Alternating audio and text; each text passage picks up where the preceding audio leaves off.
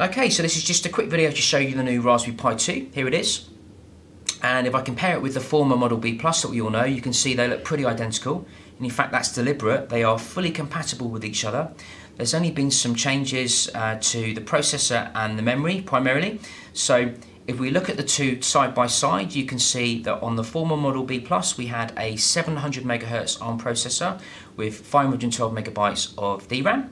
But now on the new Pi 2, we have a quad core 800 megahertz ARM Cortex A7, and that basically gives us six times the performance uplift over the Raspberry Pi Model B Plus. So we've got six times the processing power, and we also have one gigabyte of DDR2 now instead of 512. So twice the memory, six times the performance, fully compatible with each other.